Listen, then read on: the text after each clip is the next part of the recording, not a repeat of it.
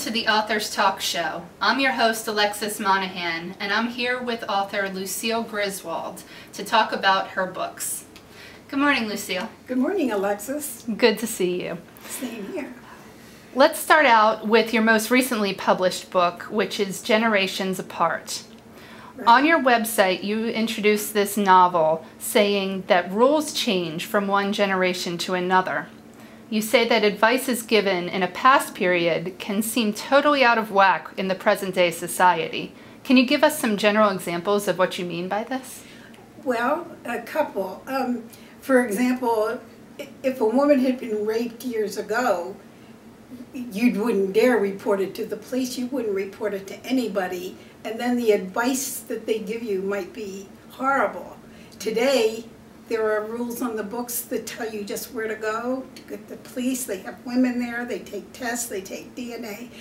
And on the lighter side, uh, my mother-in-law couldn't even um, get a, uh, a credit card when her husband died a few years ago. This is not that mm -hmm. long ago.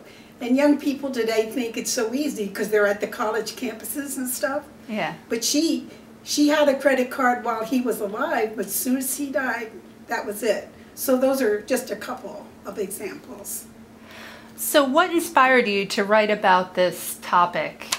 Well, I worked with, uh, at Montgomery College, I was working with young teenagers, 16, 17 years old, mm -hmm. and they, um, they didn't seem to know, you know, they took for granted, well, I can get a credit card, I can do this, I can do that, or I can, or and they didn't even appreciate the fact that they could vote, for example.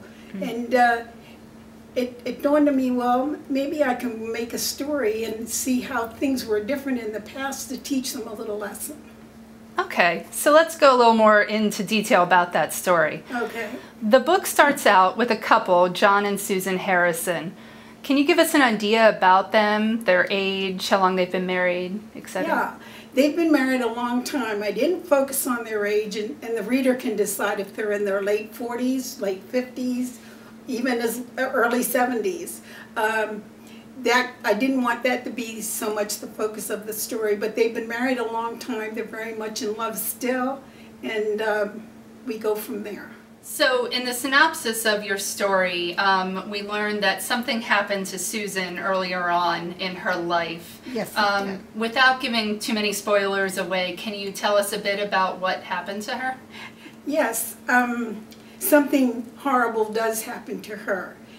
And that was bad enough, what happened to her, but the advice that was given to her by her mother for one, and by the college campus where she was going to school, uh, was totally out of whack of what they would do today. Mm. And consequently, she suffered this. It, it, it haunted her throughout her marriage, this advice, this poor advice.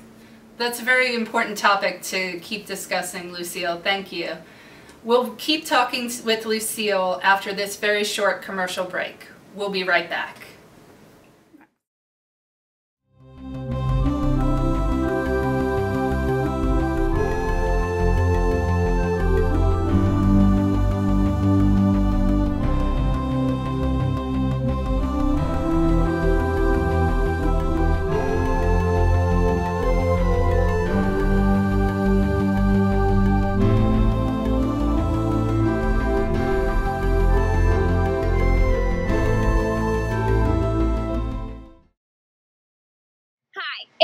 It's Jax hostess of Flip TV. I'd like you to know that you can read some of the best articles about nearly anything that interests you in our Flip magazine publication. With two sides directed to guys on one side and ladies on the other, there's plenty to keep both of you interested. And sneak peek on the other side, right? Check out Flip Magazine today at flipmagazine.net. And you can learn what's new and what's coming up by following us on social media at The Flip Magazine. You'll love it.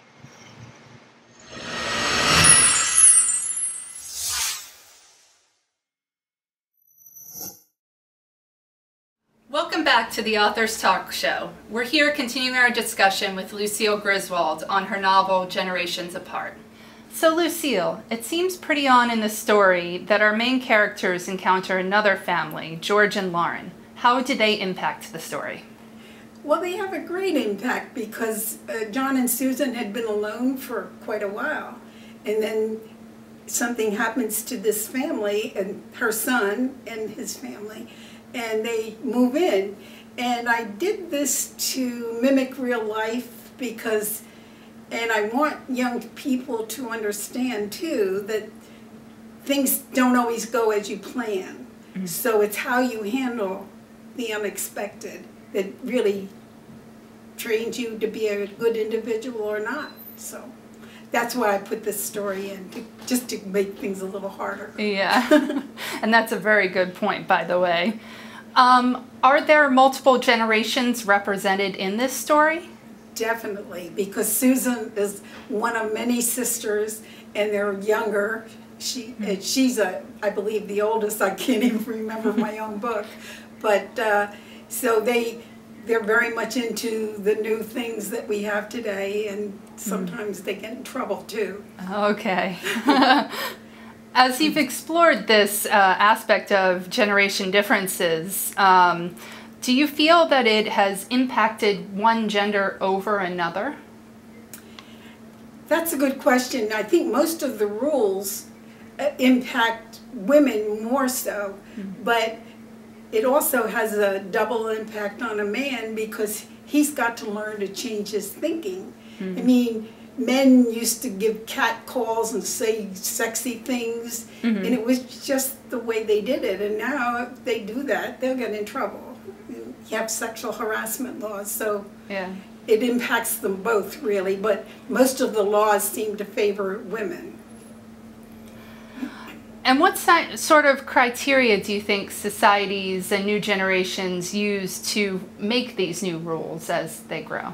Well, uh, I think it starts out with a simple showing concern. Let's go back to slavery, for example. Mm. People realized that this, some of them were getting abused and slapped mm. around and treated horrendously. And so people begin to see that this is not the way to handle these things. And then they either, years ago, we used to write letters, they march, mm. and this stuff still goes on today. And now you have the media, so that's really the last resort, and that's the most effective. And, and Facebook and Twitter and the, those things. And the 24 hour media coverage of right. everything that happens. Exactly. Very true. And in your book, or just in general from life, um, what do you think the challenges are for the older generations as they see these changes happening to the young? Yes, a lot of them find it very hard to accept. I feel I've been fortunate in working with young students because they've helped me to be think a little bit younger. Mm. But uh, the older people sometimes they're too rigid in their thinking, and this causes a lot of problems because they can't accept it's my way or no way, and that's not. It can be harmful. Yes. And in general, what are you hoping that readers take away after reading Generations Apart? Well, mostly I hope they enjoy it, but I always give little subtle lessons in the book, mm. and I hope they catch those too. Well, I know I certainly enjoyed reading your book, Lucille. Great. And we'll be right back after this short commercial break to discuss more of Lucille's novels.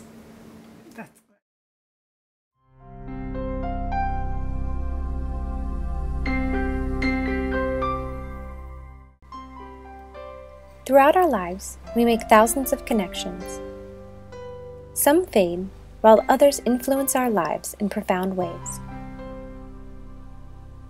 This is a story of seven interconnected individuals. Connected by a girl named Helen. Orphaned at age 13, she is forced to grow up quickly in the 1940s. grow with her, and become one of her connections. Caught between Heaven and Helen. Now available at rsplaunchpad.com.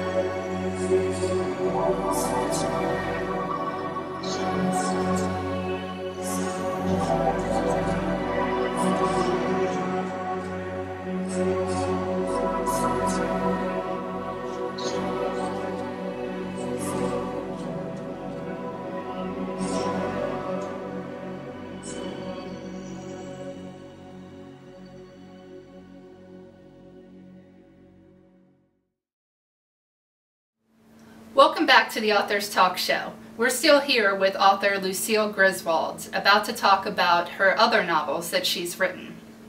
So, Lucille, you've written a book also titled Life Lived in Reverse. That's a really fascinating title. Can you tell us a bit whose life is lived in reverse? That's about me. Oh. And I wrote it when I was, um, well, one way I was lived life in reverse is I started college at the normal age and then I finished it much later. Mm-hmm. And so that was in reverse, for one thing. And I was studying about women in college and how the hardships they had to endure. And it made me uh, get interested in my own background. And my professor suggested I look into my heritage, and it ended up being a memoir. And so uh, someone asked if they could publish it, and I asked the professor if they looked like they were legitimate, and she said yes. So we went from there. So, in the story, you talk about yourself being a military spouse um, Right. during the Vietnam War. Yes. And can you give us a sense of some of those struggles that you had back then? Well, it was not a popular war, and if your husband was a professional, as mine was, like a doctor or a dentist, they went by themselves. So you didn't have a group around you to support you. You were left on your own, and you often didn't want to say anything about it because we used to get these phone calls from weirdos that said scary things, and uh, so we tried to keep it secret, but it didn't always work out that way. Now, do you think it's different today with the wars we're in today and being a military spouse? Do you think the struggles are still the same? Uh, The struggles are not the same, but they're probably equally as hard in a different way. Uh, the young ones, uh, they they'll send a whole battalion, and uh, but they have Skype, which we didn't have. So, and our husbands went away for a full year, and we couldn't talk to them maybe by ham radio once or twice during that time. Where today they Skype nearly every night. And they go for six months at a time, but I'm sure their hardships are equally as hard. Yeah. Big differences in communication for sure, which I'm sure helps Yes. them. Right. Now, moving on um, to poetry that you've written. Um, you've written Grandmother's Jewels. Obviously, poetry is very different than writing novels. Right. Um, what have you found to be the differences? Which one's easier for you? I think I would have to say the novel is easier. It takes a lot of thought to create a poem, whether it rhymes or whether it doesn't. But it's enjoyable, and when I did it, because I didn't have a lot of time, so the short version of the poem seemed to fit everything just fine. Yeah. And so, what is next for you, Lucille? Do you see yourself writing more books, more novels? Absolutely. I, it's like um, it helps me to relax. I, I can get involved in my own stories and uh, just finding the time to do it, that's the hard part. But I am writing, constantly writing. That's great. Well, we look forward to reading what you have to come out still. Good. I hope so. And I want to thank you for being with us today. We've come to the end of our show, but thank you for sitting down and talking to us. My pleasure, and thank you. Thank you. And that's the end of our show for the Authors Talk Show. I hope you enjoyed listening to Lucille Griswold. You can see more on her website, lucillegriswold.com,